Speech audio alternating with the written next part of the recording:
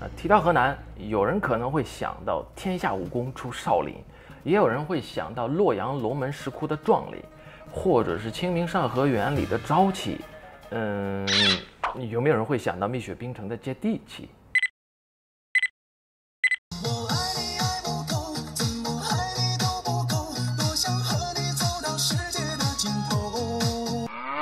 这是蜜雪冰城在郑州开的家集合店，我们进去看一下。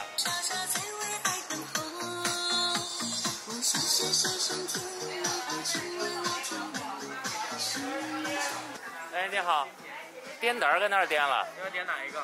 嗯，呃，就是吃了还有喝了。这喝的是里边儿，呃，每个窗口是每个窗口的。哦，这边是啥？这边是奶茶。这边是正常的蜜雪冰城售卖的产品。人好多啊！这是蜜雪冰城的首家集合式的店，结合了奶茶、咖啡、特色饮料、烤串小吃、冰激凌周边一体的店。啊，店里有专门的周边区域，啊，杯子、玩偶、咖啡、茶种类非常多。那当然，这样的集合店其实别的品牌都在做，让我觉得很特别的地方是在特色产品的打造上。那这家店主打的椰乳烩面。着实惊讶到了我。那作为河南本地人的我，看到自己经常吃的面被做到奶茶里的概念，还是很有创意的。是不是就是这个？对真大一杯啊！对，这直接吃饱了就。我我这不用吃饭了，是不是？这个上边的是冰激凌吗？对，芒果味的冰淇淋球。当然了。另外还有一个落馍冰激凌，也很自然地融入了本地的小吃元素。就是落馍。里边里边这个是芝士。哦，那外边这一层就是落馍。对。哦，就是很薄的。这边的这个城市杯是才二十九块钱一个。你点的这个是什么呀？椰乳烩面吗？好吃不？有点甜。女生不都喜欢吃甜了？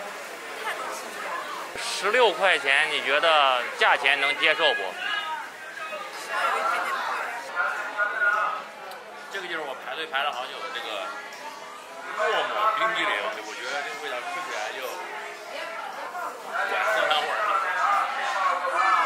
那蜜雪冰城整个店的呈现方式非常融合这个地方，那就像我视频开头说的接地气，或者你也可以说是土气。那当然土气并不是不好。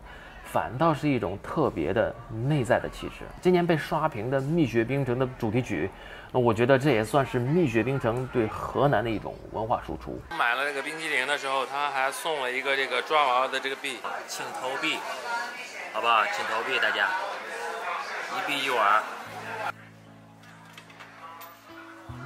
到这里下。那这种土气也让我想到了我从小到大经常吃的早饭，就是这碗胡辣汤。你看它没什么特点，甚至觉得看起来不好看，勾不起你任何的食欲。但这就是本地人每天早上经常吃的东西。那一碗胡辣汤，一个大包子，油条油饼，实实在在不花哨。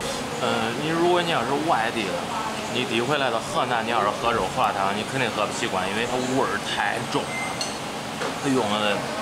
香料可多。好，谢谢啊。再看这碗烩面，也没有什么特别的卖相，没有苏州面的那种精致，也没有武汉热干面那么有名气。但就是这碗烩面，河南人听到它就会莫名的亲切。那你发现没？其实就是咱河南的这些东西啊，吃的这些东西，其实卖相都不怎么好。对，但都很好吃。